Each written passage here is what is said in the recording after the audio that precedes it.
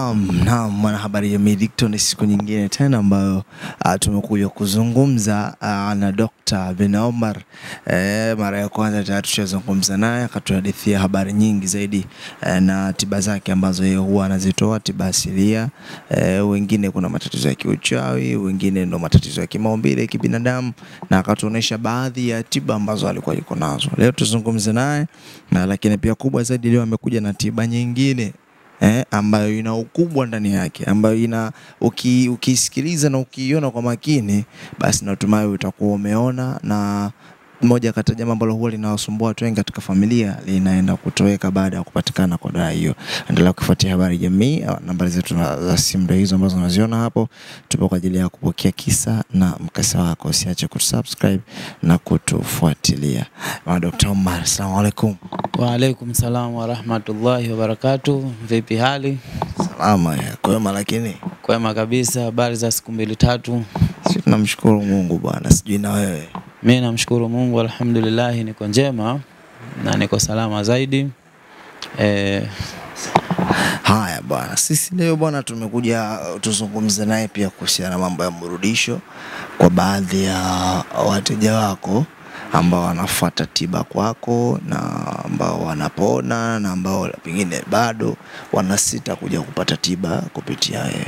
Labda uwaambie kupitia Habari Jamii hapa kwa sasa hivi eh, tiba zako wewe mtu hususan wapi anaweza kuzipata na wapi zaidi eh, wewe unapendelea watu kuwapelekea tiba?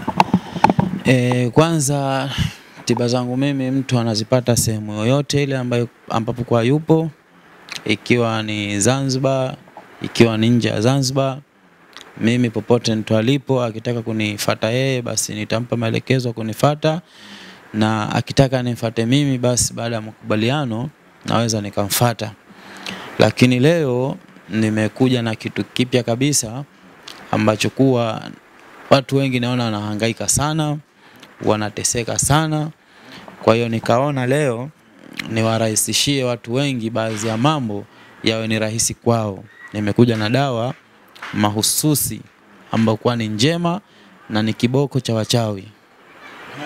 Eh, Dawa gani hiyo binoma? Eh, hiyo e, ni dawa ambayo nimeitengeneza mimi mwenyewe bila kupoteza muda. Hii ni dawa inatumika kwa namna tatu. Hii ni dawa ya unga. Natumai hapa nimekuja na sample tu, iko kidogo hii, unaona eh? Hii ni dawa ya unga. Dawa hii ni suluhisho la kuweza kumfahamu mchawi kwa haraka, unaona eh? Hii dawa inatokana na mti mkuu, sawa? Mti mkuu, kuna siku tukijali watu watakuja kuuzungumza na kutolea maelezo yake kwa kina, lakini dawa hii ina siri kubwa ndani yake. Kwa mfano, inawezekana familia imeathirika katika suala zima la uchawi. Wao kwa wao wanadhaniana kwamba bana, nani mchawi, nani si mchawi, nani mwenye matatizo, nani hana matatizo. Suluhisho ni hii dawa. Unapoweza kuipata dawa hii, unaweza ukaitisha kikao cha familia, ukaitisha wote wale ambao kwa mnawashuku na msio washuku katika namna ile, ukaambia bana, tuna kikao. Katika kikao kile ukafanya vitu viwili, unaweza ukatafuta ugali ukapika, ukachukua unga sembe, ukasonga ugali wako, katika unatia unga pale, unachukua na hii dawa kidogo tu, ujazo wa kijiko kile kidogo cha chai, ukatia katika wa ugali wakati unasokota. Baada ya pale, katika kikao kile, ule ugali ukafanyika ndo ni chakula. Wallahi, maajabu makubwa yanatokea. Kama kati ya nyinyi mliohudhuria pale kutakuwa na mmoja wenu si mtu mzuri, hataweza kula ugali ule, hapo moja kwa moja utapata jibu la huyu ndio tatizo katika familia hii, na kama atahofia kupata aibu hiyo, atalazimisha kula ugali huo, bati hawezi kutoboa akavuka siku tatu, lazima mtamzika. Hayo ni maajabu ya dawa hii. Na kama kwenye kupika ugali unaweza kuona ah, pengine ni kazi kubwa, naweza ukatengeza juisi alafu ndani yake ukatia hii dawa alafu ukatembeza katika kikao kile, sawa eh? Ama juisi pia hamna, unaweza ukachukua dawa hii kidogo kidogo, kila mtu kawa unamwekea kwenye kiganja chake cha mkono, lakini ukahakikisha karamba basi yule aliyokuwa ni mbaya, hii dawa hata kuikamata atashindwa. Pale pale mnamtambua huyu ndio tatizo katika familia. Kwa hii ni zawadi ya leo niliyokuwa nawaonyesha watizamaji, kwa maana wasihangaike sana juu ya kuweza kuwatambua watu wabaya. Watu wabaya wanatambulika tena kwa wepesi sana kabisa. Eh, Hii, hii dawa hii inapatikana vipi hivi Noma? hii dawa inapatikana, kila mmoja ana utaalamu wake wa kutengeneza dawa na ana ujuzi wake katika kutengeneza kwa njia anazoziamini yeye. Mimi hii dawa nimekwambia naitengeneza kwa kupitiana na mti mkuu, sawa eh? Natengeneza mwenyewe.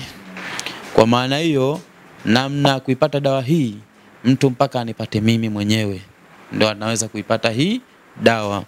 Kwa maana mtu akiwa anahitaji dawa hii au anahitaji tuifanye kazi pamoja mimi na yeye, basi ni kunipata mimi mwenyewe Yeah. Kwa mantiki hiyo, mtu akisema hii dawa eh, akikataa tu ndo yeye. E, yani kwamba wewe ukijiona ni mwanga na unatesa familia yako, ukila dawa ile, basi mawili, siku tatu ni nyingi, wewe utakufa, na ukikataa, lazima utakumbana na aibu. Sasa viwili vitachagulika, utachagua wewe ambaye kwamba ni mwanga, kwa sababu kazi ya wanga haina faida, haina maslahi. Kazi ya wanga ni kumkufuru Mungu, sawa eh? Kwa maana sasa tuna tunapiga kelele sana kwamba wale watu wabaya waachane na ubaya, wamrudie Mungu, wawe katika jamii ya kusaidia watu, wasiwe katika jamii ya kuharibu watu kabisa. Kwa maana hiyo sisi ambao kwamba Mungu katupa maarifa na kujua miti mbalimbali mbali, na matibabu yake, na ndio maana tukawa tunazitoa hizi dawa kwa ajili ya kuisaidia jamii katika hali hii ya kupambana na uchawi na wanga eh. Haya, nyinyi ambao mnaifuatilia habari jamii na yoyote ambaye atazipata taarifa hizi, Bin Omar tayari ametuonyesha dawa ambayo ina uwezo wa kumbaini nani mchawi, nani mbaya katika familia, nani mbaya katika koo. E, unaweza ukaweka katika ugali ama mboga ama chochote na haina madhara yoyote. na madhara yoyote kwa mtu ambaye hana nas, hani, hajajinasibisha katika, katika uchawi. Hata kama utakula wewe hapo, kama huko katika mambo ya kichawi, basi kikubwa itakusaidia kuibatilisha sihri iliyokuwa unayo katika mwili wako ikaitoa, lakini haina madhara mengine, lakini ina madhara kwa mtu ambaye ni mwanga. Chawi. Nishai kusikia stori moja, ah, kuna ustadhi mmoja alikuwa anaizungumzia kwamba una, ana uwezo mtu akawaipata kundi la kichawi lakini hajui, labda anaingizwa na watu wengine, hana taarifa. Sasa sijajua kama ni kweli au si kweli, ila kama ni kweli, je, vipi akaramba hii dawa, labda hajui kama kaingiza watu kumbi, katika mambo ya uchawi. Umeniuliza swali zuri sana. Unajua uchawi, kuna uchawi wa namna nyingi. Kuna uchawi wa kurisi na kuna uchawi wa kwamba katika mji wenu kulikuwa na mtu labda alikuwa ni mwanga, kwa hiyo kafariki. Sasa kuna mtu mwingine atakiwa awe mbadala wake. Kwa hiyo je, huyo mtu tutampata pataje? Inabidi pale atatafutwa mtu ambaye kwa ni wa karibu yako wewe, ama kama mtu hamna karibu inabidi yeye atapewa kazi ya kukuvuta wewe uwe karibu naye, alimradi mtengeneze mazoea. Baadaye mtu yule wewe sasa ataanza kukuchukua katika zile shughuli basi na wewe mwenyewe kujua, utakwenda kidogo kidogo kidogo kidogo kidogo kidogo, utakuwa unaota tu ndoto, naenda kwenye ngoma, naenda hivi, nafanya hivi na nini hivi, alafu unapokutana naye yule mtu, inakuwa stori zenu inakuwa zile hazieleweki, kwamba naye anakuchukua kiakili zaidi. Sasa mtu yule ambaye katika moyo wake hana dhamira ya kwamba mimi ni mchawi au hajitambui kwamba mimi ni mchawi, sawa sawa eh? Kama atakula hii dawa haina shida kwake, sawa sawa? Hii dawa ni yule mtu ambaye anafahamu yeye ni nani, mimi ni mchawi, anajifahamu. Halafu sasa pale katika kikao akakataa kama yeye sio mchawi, ili tuamini wewe sio mchawi, tupa watu kumi hapa, sote tunatakiwa kuramba hii dawa. Akikataa yeye, basi jibu nyewe mshalipata. Na kama yeye mchawi na akaenda kula ile dawa, havuki siku tatu, huyo mtamzika. Sawa sawa, eh? kwa sababu yeye anajua kabisa mimi nakunywa sumu na hii sumu mimi haitoniacha salama. Sasa mawili, akubali kashfa au akubali kuuawa, atachagua yeye hapo sasa. sawa na vile vile unajua kwamba watu hawa wabaya hawana akili tu hawana hawana akili kwa sababu kuna vitu wao wenyewe sometime wanavitengeneza alafu wao wenyewe baadaye wanaviogopa sasa watu wabaya ni kwamba Mungu kashawala watu kashawalaani katika dunia ni sawa sawa na Ibilisi alipoamua kumwasi Mungu. Kwa Ibilisi anapofanya na kuwapotosha watu, anajua kabisa kile anachokifanya sio cha haki, lakini tayari yeye ameshajitolea sadaka, inabidi anafanya, na ndio mtu baya alivyo. Anajua dhahiri shahiri kwamba mimi haya ninayofanya Mwenyezi Mungu hapendi, hayataki na anachukia, na watu wabaya wa mushirikina ndio watu wa mwanzo ambao wanaenda kuangamia lakini tayari wao wameshajitolea sadaka kuweza kuteseka duniani na kuteseka akhera, sababu wewe duniani huna raha. Wewe usiku ndo una utawala wako, mchana unakuwa wewe ni zalili kabisa. Raha yako iko wapi? Hamna. Kwa maana sasa sisi Mungu alotujaalia ndio tunakwenda nao mguu kwa mguu mpaka tutakapofika nao, kwa sababu kumaliza hawamalizi, lakini wapo ambao kwamba wanaadabika. Ehe.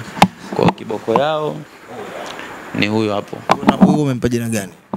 Huyu ah, huyu jina lake ni, ni unga huu wa mti mkuu eh, huo ni mti mkuu hakika.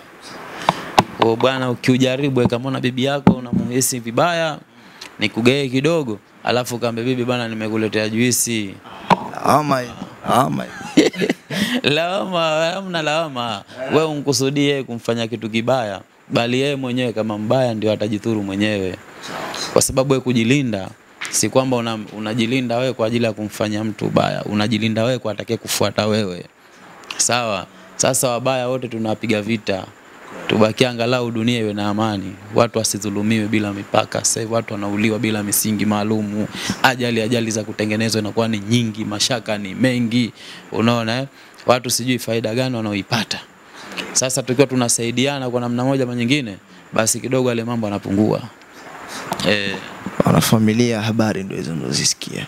Ah, bin Omar, tupo katika janga sasa hivi, vijana hata wazee pia wapo katika kipindi ambacho mambo mengi ya vitendo vya ndoa hapa vinakuwa vina mtihani. Eh, siku hizi imefika hatua watoto wa kike wanakuja hadharani, wengine wanasema hafikishwi, wengine kuna wanaume siku hizi wanadhalilika, wanaitwa kibamia kwa stori za mitaani huko. Sijajua Dr. Bin Omar hapa wewe uh, unawasaidiaje watu wa, wa design hii? Okay, asante sana. Ni kweli unachokizungumza, hiyo ni changamoto kweli kwa vijana. Sisi sasa hivi imekuwa wanawake ndo wanatuongoza zaidi na wanatudharau zaidi, hususani katika habari za ndani. E, kipindi kilichopita kuna dawa nilizungumzia ile, lakini ile ni dawa ambayo inaleta msisimko katika shughuli hiyo.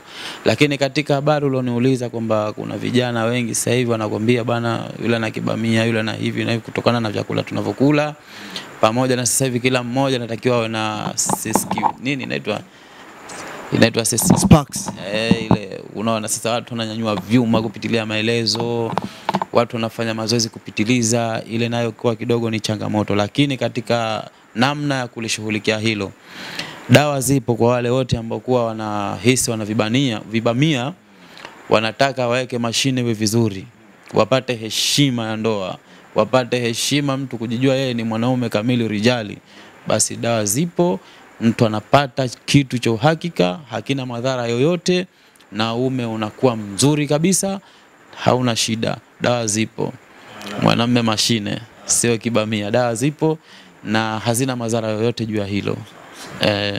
Na kuna vijana tayari wanakuja kwako na wanachukua hizo dawa. E, vijana wapo ni wengi, vijana ni wengi na sijawahi kupata malalamiko kama mtu katumia dawa ikisha imeniletea shida. Mtu bali anatumia dawa alafu ananileta na mwenzake, kwa maana hazina shida yoyote, ni dawa za asilia. Unanifahamu eh? Ni dawa za asili ambazo hazina madhara wala hazina shida yoyote. Kwa mwanaume ambaye kuwa ana nguvu za kiume kidogo au mume wake anahisi umethinyaa, anataka ujirudi katika hali ya kawaida na uwe na nguvu vizuri, basi dawa zipo wala hazina shida yoyote. Eh. mi naomba leo tumalize na hili uh, tupo katika kipindi cha haki sawa. Hii haki sawa, kuna baadhi ya sehemu za nikasema sijui inatumiwa vizuri au inatumiwa vibaya, kwa sababu kuna kumekuwa na tatizo sasa hivi la baadhi ya wanawake kujifanya wanaume na baadhi ya wanaume kujifanya wanawake. Moja kati ya sababu ambazo pia wanaume wanazitumia ambao wanajiingiza katika kundi la wanawake, wanasema nguvu za kiume. Labda mtu kazaliwa tu na homoni hizo, anashindwa kuwa rijali, anaamua yeye, anajiona ah, mbona mimi basi nitakuwa mwanamke. Labda na chochote tunaweza kuwasaidia wanaume ambao wapo katika jamii hii. Eh, hii kitendo cha haki sawa, kwanza bana, Mungu alipoumba haki zote kaziweka katika misingi maalumu. Mwanaume kapangiwa haki zake na mwanamke kapangiwa haki zake, na mwanamke hapaswi kuingia haki za mwanaume na mwanaume hapaswi kuingia katika haki za mwanamke.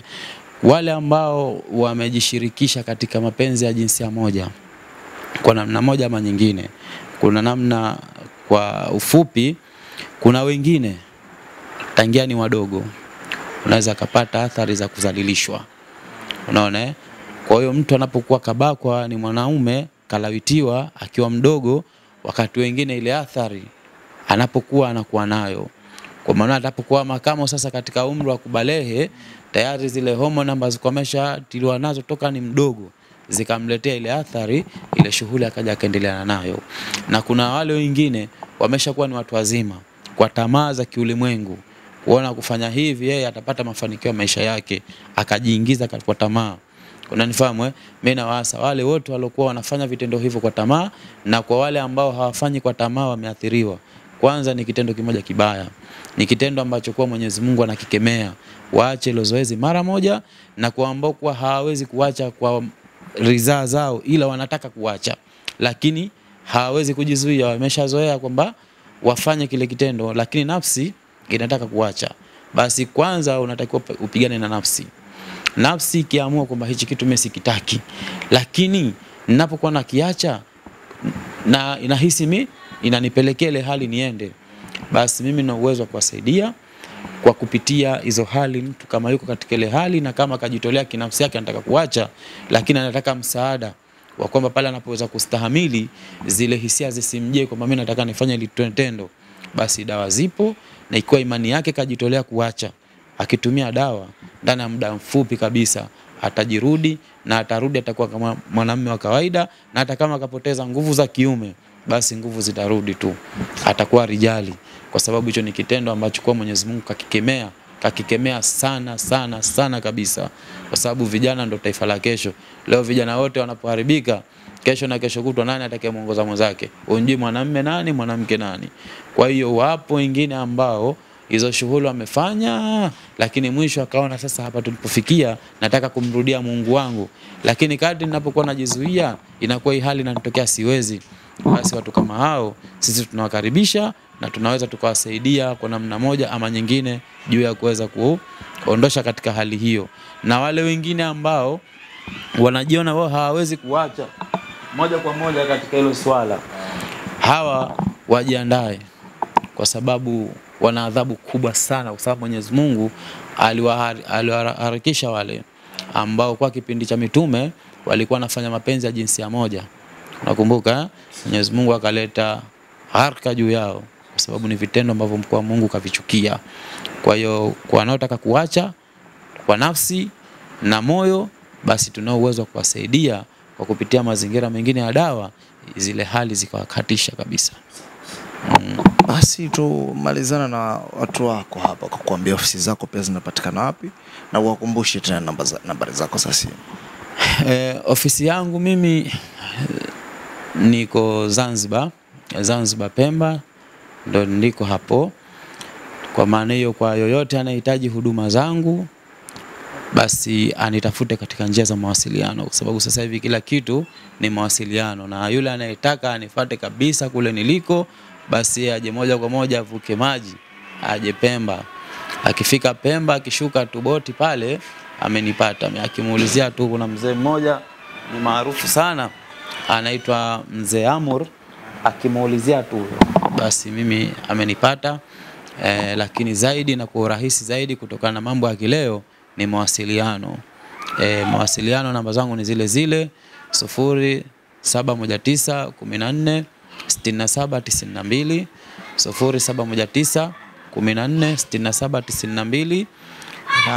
ile nyingine sijaimaki e, bali mtawekea pale katika skrini wataona. E, tunawakaribisha wote wenye shida mbalimbali wanaotaka ushauri, maoni, mawazo, maarifa, basi tutapeana ushauri, maoni na maarifa. E, Basi shuka Dr. bin Omar, na yetu ya kipindi kile ile ya kusisimua imekuja nayo leo tena, e, ile dawa ipo Sasa itabidi uiache. kwa wanaohitaji wataipata biidhinillah ile ipo. E, dawa zipo nyingi. Kuna dawa ambazo kwa tunatengeneza za bawasili. Kuna watu washateseka na bawasili muda mrefu, dawa zipo. Kuna watu wameshateseka na homa za mara kwa mara, washatumia dawa sana, dawa zipo. Kwa hiyo kiufupi kwamba mimi nimejikita katika nyanja zote Unaona eh? Nyanja zote, mtu akija na tatizo lake ikiwa limo ndani ya uwezo wangu, namwambia hili liko ndani ya uwezo wangu na naweza nikakusaidia, na kama haliko ndani ya uwezo wangu, ninamwambia hili ni tatizo ambalo kwa liko nje ya uwezo wangu, kwa hiyo nakomba tafuta msaada sehemu nyingine. Lakini nashukuru hadi sasa tunatoa huduma zote za dawa zote kwa wanaume kwa wanawake, katika wenye matatizo ya kishetani, wenye matatizo ya kichawi na wenye matatizo mengine mengine mbalimbali mbali. Huduma zote tunatoa na kwa uhakika zaidi na uaminifu zaidi. Eh, Kwa uhakika zaidi na kwa uaminifu zaidi zinapatikana tiba dawa zote kwa Dr. bin Omar. Ofisi zake zinapatikana kisiwa cha Pemba huko Zanzibar, ana na dawa zipo nyingi za kuweza kukusaidia. Asante kwa kuendelea kufuatilia habari jamii kwa visa, mikasa, changamoto na matukio yote ya kijamii. Asante sana.